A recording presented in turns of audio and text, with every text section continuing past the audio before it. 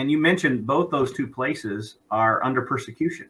Absolutely. And yet they're they're exploding. The government's not pro Christianity in either no, one. In fact, I read this is a couple years old. I think it was 2017 that in China, 30,000 people a day give their life to Jesus. So I'm only imagining that's increasing. And so I, that's why I'm encouraging pastors. Let's get our eye, like you said, back on Jesus and not on who's running the country. I think we've had a lot of maybe too much focus and too much onus has gone on a uh, human system. And when we realize it, it, was great, and I'm not, I'm not saying it was bad, and I'm not, I'm, you know, I, I get it. I, I enjoyed those four years of pro-religion rhetoric sure. that was coming out of uh, the. So, but if it changes, but look at these countries you just mentioned they're anti-Christianity, but yet the church is exploding because again, God responds in the opposite of the day. So when they come against the church, I think the church gets greater. I think the church explodes. We've had people come to our church that came because the government said not to go to church. You ready for that? We asked them, well, how'd you hear about us? Well, one guy said, I've never been to church in my life.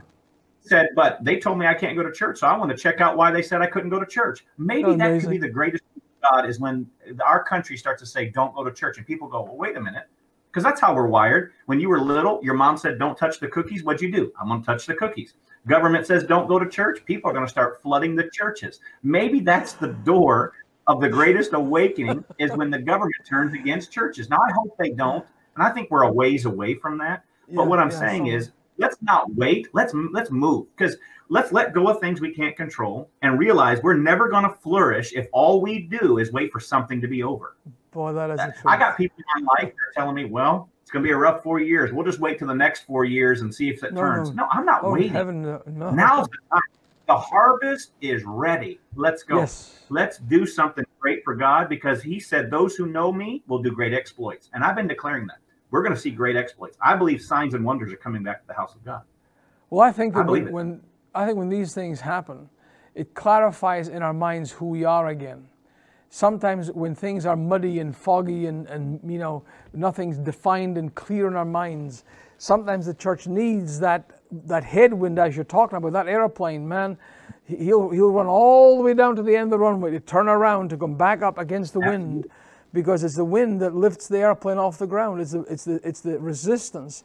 And i do feel i mean personally i think we are going to see if not overt um, resistance to the church. I believe we'll see it in systemic um, resistance to the sure. church.